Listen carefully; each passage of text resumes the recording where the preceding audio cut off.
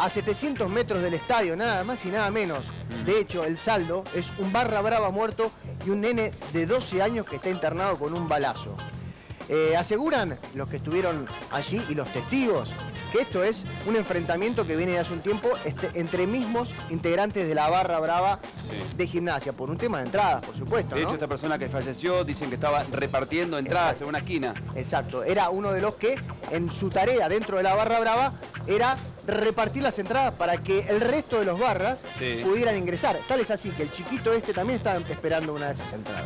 Entonces, lo que sucedió fue que se empezaron a los tiros limpios una vieja rencilla entre estos dos barra bravas, como el saldo dio a un muerto y a un nene Escuchamos a los testigos. están eh, mi hijo, el mayor de 18 años, con el nene mío de 6 años, están en el bosque para entrar en el estadio de Gimnasia Grima La Plata y, de pronto se armó una pelea y bueno, le pegaron a mi hijo de 11 años una bala en la, cintura y, bueno, todo ahí se armó un lío. Lo, vieron que agarraron a un muchacho de camisa amarilla y le empezaron a golpear. No sé si fue la otra hinchada o de gimnasia grima. ¿Qué edad tiene su hijo? Seis años. Eran dos que se estaban peleando.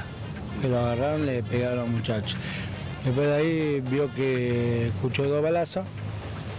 Uno le pegaron al muchacho de que murió y uno recibió a mi hijo.